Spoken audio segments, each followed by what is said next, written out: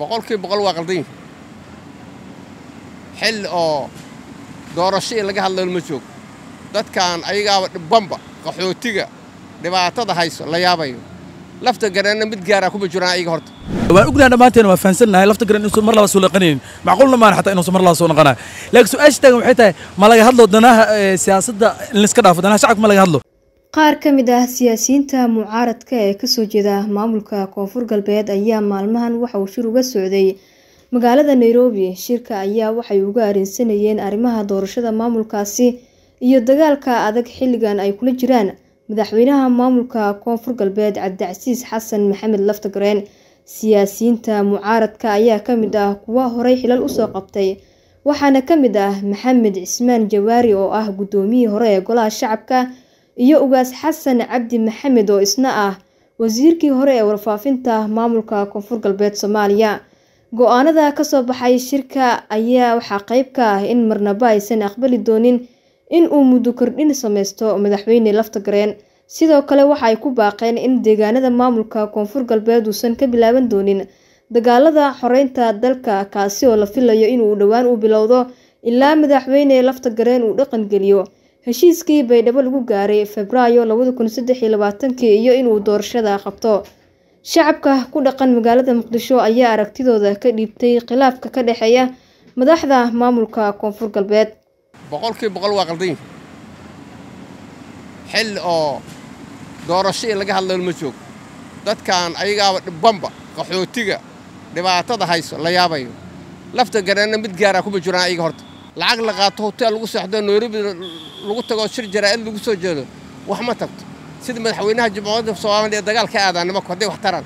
Yacni ajantaha ma waxay u cararayaan su'aasha taagan waxay tahay ma waxay u cararayaan xillo ama siyaas arrimo siyaasadeed mise arrimo gabal ay u cararayaan. Su'aasha taagan taas waa ma arrimo gabal u cararayaan oo dana bulsho u cararayaan dhibaatooyinka taagan. Waa ognahay muddo ka hor ee ahayd beedhabo markii oo xataa rashin oo geli waayey oo dadka reer beedhabo ee dhibaatooyin badan ay ku sugnaayeen marka su'aasha taagana taas ah micnaha ma ma dana shacabay u socdaan mise dana siyaasadeed waay waan ognahay dhammaanteen waa fahansannahay. Lafta garan inuusan mar laba soo naqanaynin macquulna maan xataa inuusan mar laba soo naqanayo laakiin su'aasha taagan waxay tahay ma laga hadlo danaha siyaasadda in layska dhaafo. Danaha shacabka ma laga hadlo. Dhibaatada haysto dadka reer koonfur galbeed. Dhammaan waad ognahay micnaha. Miidiyaha inta badan la soo dhigaa. Marka ana waxaa dhihi lahaa danaha ka hadlaan ee shacabka ee ku haysta koonfur galbeed oo gobollada qaar dhibaatooyin baahi laga sheegayo oo xataa aan la gaarsiin karin caawinaad ha ka hadlaan marka koonfur galbeed dhibaatada hadda haysato shacbiyan haysato ha laga dulqaaday micnaha ee ma ahan in laga dulqaado ama in lagala hadlo koonfur galbeed arrimo ku saabsan markaan siyaasad maan lafta gareen oo ognahay inuusan soo noqonayn lafta gareen doorasho waa qaban karaa xuruu u yahay. Shakhsiga kaleoo siyaasigana wixii asiga dhibaaya wuu garanayaa. Laakiin danta guud iyo dadna gaar ahaaneed oo baydhaba iskuma xirre. Aniga xagga dagaalka haddii layidha anu reero dagaalamo ma ihi.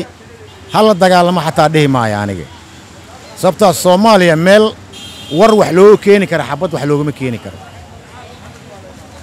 anugu xasan shiikhna uma shaqeeyo lafta gareenna uma shaqeeyo laakiin waxaa fiican xal in wax lagu dayo siyaasiyiinta reer koonfur galbeed ka soo jeedo oo nairobi ku shiro walaalayaalow waxaa weeye dadka islaamka waxaa deega waa hadal iyo shir waa ti iyaan dhoweyd waxaa weeyaan madaxweynaha soomaaliya ee shir u fidiyey siyaasiyiinta koonfur galbeed iyo waxgaradka soomaaliya oo dhan la isku afgartay. Maxay ahayd waxaa weeyaan madaxweynaha dowladda ee ka taliya koonfur galbeed iyo siyaasiyiinta waxaa weeyaan reer koonfur galbeed dhammaantood in arrinta la dejiyo oo waxaa weeyaan ninkan cabdicasiis waxaa weeyaan loo sugo ilaa marka halka sano loogu daray oo ka dhammaysto waxaa ii muuqata marka maanta waxaa weeyaan dadka ka hadlaayo nairobi waqtigaa dhammaaday. Maxay waxaa weeyaan oo diyaarsan oo maxay ahayd loo samay karaa koonfur galbeed waqtigaa la joogo. Waxaan dhihi lahay kolley waa weeyaan ninka halka sano ku dartay wuu ka dhammaaday cabdicaziiz isagana kolley wuu og yahay waxaan u malaynaa ka rajaynaa isagana waxaa weeye inuu u dhamriyo shacabkiisii isagoo waxaa weeyaan waqtigiisii hore dhammaaday ku darsaday hal sano halkii sano ay ka oggolaadeen waxaa weeyaan siyaasiyiintii iyo waxaa weeyaan madaxdii waddanka ee oo madaxweynaha soomaaliya hogaaminayo waxaan odhan lahay cabdicasiisow adna waxaa weeyaan garo xaaladda lagu jiro iyo waqtigaada iyo shacabkaada meesha ay ka marayso.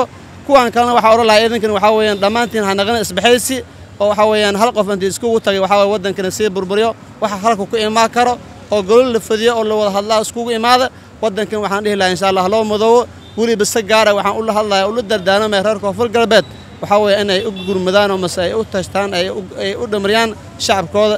Siyaasiyiinta mucaaradka koonfur galbeed ayaa sheegay in haddii madaxweyne lafta gareen uu qaban waayo doorasho ay ayaga qabsan doonaan doorashada kadibna ay tegi doonaan magaalada baydhabo faa-ise aadan shabelle t muqdisho